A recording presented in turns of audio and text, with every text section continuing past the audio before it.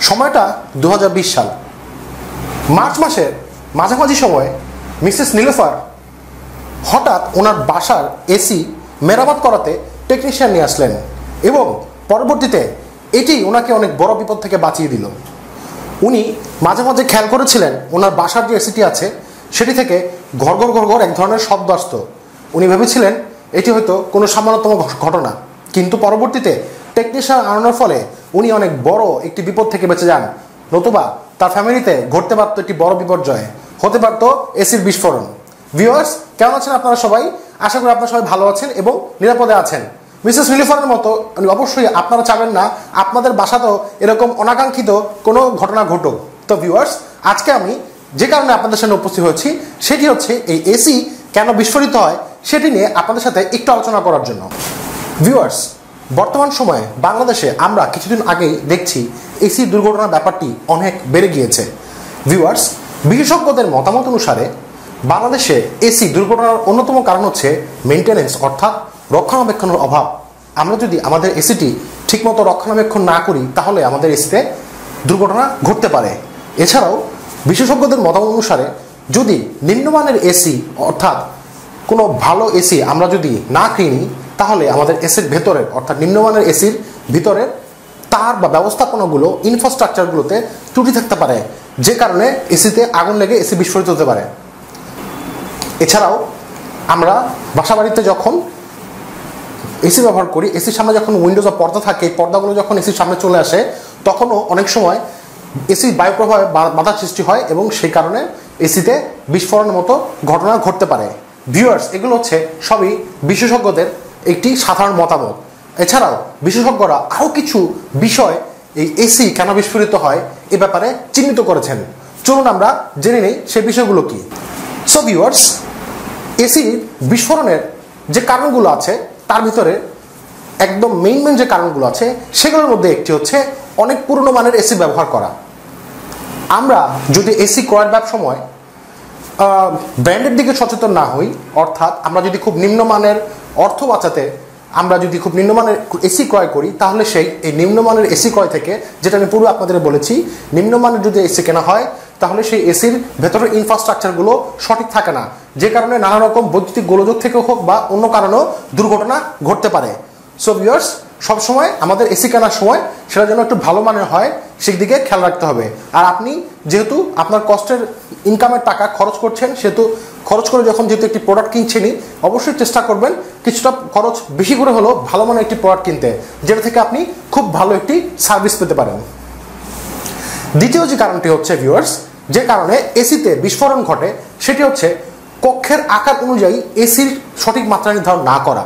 অর্থাৎ আপনার রুমে যে মাপের এসিটি প্রয়োজন, আপনি যদি তার থেকেও একটু অন্যরকম হিসাবে এসি কেনেন, সেক্ষেত্রেও অনেক সময় দুর্ঘটনার কারণ ঘটতে পারে। ভিওয়ার্স আরেকটি যেটি কারণ, যার কারণে এসিতে বিস্ফোরণের ঘটনা ঘটতে পারে, সেটা হচ্ছে একটানা অনেকক্ষণ এসি চালিয়ে রাখা।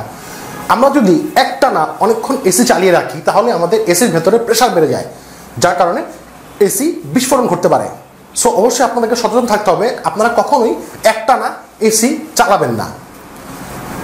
এসি আরেকটি, এসির বিস্ফোরণের আরেকটি কারণের মধ্যে যেটি পড়ে, সেটি হচ্ছে এসির ভেতর বা বাইরের তারগুলো যখন আমরা ঠিকমতো নড়বড়ে থাকে, অর্থাৎ ঠিকমতো ইনফ্রাস্ট্রাকচারটি না থাকে, এই ইনফ্রাস্ট্রাকচারটা কিন্তু যখন কথা আসবে, তখন কিন্তু আপনার প্রথম দিকে যে আমরা কথাটা বলেছিলাম যে ভালো মানের একটি এসি তার সাথে সম্পর্কযুক্ত।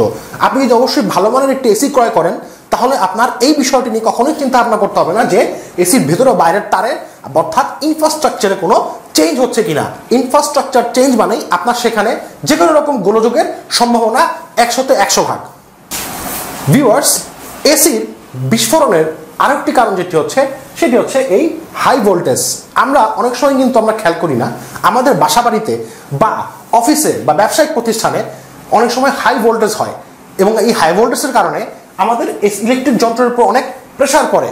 এই ইলেকট্রিক যন্ত্রের প্রেশার পড়া মানেও যেহেতু এসিও একটি ইলেকট্রিক যন্ত্র, সুতরাং প্রেশারটি ওটার উপরও পড়ে।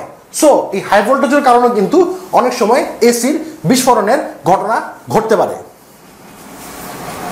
আরেকটি যেটি কারণ হচ্ছে, অনেকদিন এসির মেনটেন্যান্স না করা।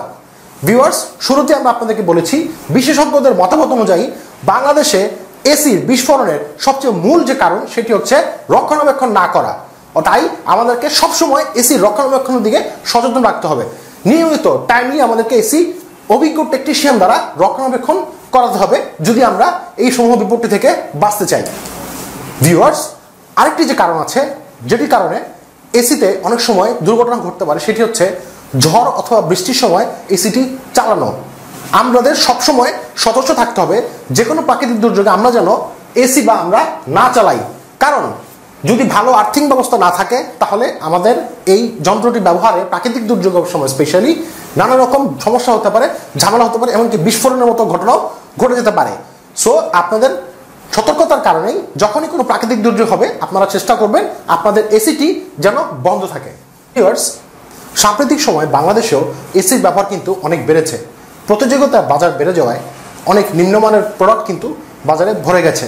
সো আপনাদেরকে অবশ্যই এসি কেনার সময় নিকটস্থ শোরুম থেকে ভালো মন্দ দেখে শুনে আপনাদের এসিটি ক্রয় করা উচিত।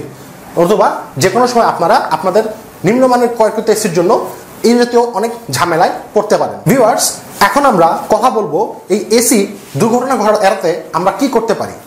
ভিউয়ার্স বিশেষজ্ঞদের মতামত অনুযায়ী এই এসি সার্ভিসিং কিন্তু খুবই খুবই গুরুত্বপূর্ণ। বিশেষজ্ঞরা বলেছেন, অন্তত প্রতি মাসে একবার করে এসির ফিল্টার পরিষ্কার করা এবং প্রতি বছর অন্তত একবার টেকনিশিয়ান দিয়ে পুরো এসিটি সার্ভিসিং করা খুবই খুবই দরকারি। যদি এভাবে নিয়মিত করা যায়, তাহলে কিন্তু এসির যে কোনো কোনো দুর্ঘটনা থেকে রক্ষা পাওয়া সম্ভব। ভিউয়ার্স এখন আমরা কিছু দুর্ঘটনা থেকে বাঁচার জন্য কিছু স্পেশাল জিনিস আপনাদের সাথে নিয়ে আলোচনা করব। এসির দুর্ঘটনা রোধে আমরা যে কাজগুলো করতে পারি, তার মধ্যে প্রথমটি হচ্ছে পেশাদারদের মাধ্যমে নিয়মিত এসে সার্ভিসিং করা, যেটা আপনাদেরকে আমি কিছুক্ষণ আগে বলেছি। আপনাদের সবসময় অভিজ্ঞ টেকনিশিয়ান দ্বারা এ ধরনের ইলেকট্রিক যন্ত্রপাতি মেরামতে সচেষ্ট থাকতে হবে। আবারও বলছি, যখনই আপনারা শুধু এসি নয় যে কোনো ইলেকট্রিক যন্ত্রপাতি, যেমন টেলিভিশন বা অন্য কোনো যন্ত্রপাতি, যখনই আপনারা সার্ভিসিং করবেন, আপনাদেরকে অবশ্যই অভিজ্ঞ টেকনিশিয়ান দ্বারা করাতে হবে। আজকাল অনেক কোম্পানি তাদের নিজস্ব তত্ত্বাবধানে এসব তাদের প্রোডাক্ট সার্ভিসিংয়ের কাজ করে আসছে। তো আপনারা যখন সার্ভিসিং কাজগুলো করবেন, চেষ্টা করবেন ওসব কোম্পানির নিজস্ব সার্ভিস সেন্টারে দিয়ে এগুলো করানোর জন্য। অন্যথায় আপনারা যে কোনো সময় ঝামেলার সম্মুখীন হতে পারেন। এই দুর্ঘটনা এড়ানোর আরেকটি উপায় হচ্ছে কক্ষের আকার অনুযায়ী সঠিক মাত্রায় এসি ধারণ করা। অর্থাৎ আপনার রুমের দৈর্ঘ্য, প্রস্থ এবং স্কোয়ার ফিট বিবেচনায় আপনার ঠিক যে পরিমাপের এসি প্রয়োজন, ঠিক সেই পরিমাণের এসি আপনি আপনার ঘরে অ্যাটাচ করবেন। এবং আরেকটি যেটি এবং আরেকটি যেটি উপায় হচ্ছে এসি দুর্ঘটনা রোধে, সেটি হচ্ছে দীর্ঘ একটানা এসি না চালিয়ে রাখা, কিছুক্ষণ বিরতি দিয়ে রাখা। ভিউয়ার্স রাত্রে শোয়ার আগে কিন্তু আমাদের সব সময় এসি চালিয়ে রাখার দরকার নেই। আপনি যেটা করতে পারেন, আপনার শোয়ার রুমে যেখানে আপনি ঘুমান বা যেখানে আপনার এসিটি প্রয়োজন, সেখানে আপনি কিছুক্ষণ এসিটি এক ঘণ্টা চালিয়ে অফ করে রাখলেন এবং দরজা জানলা বন্ধ করে রাখলেন, তাহলে কিন্তু ভেতর পরিবেশটি ঠান্ডা থাকবে। তারপর আপনি সেখানে প্রবেশ করলেন।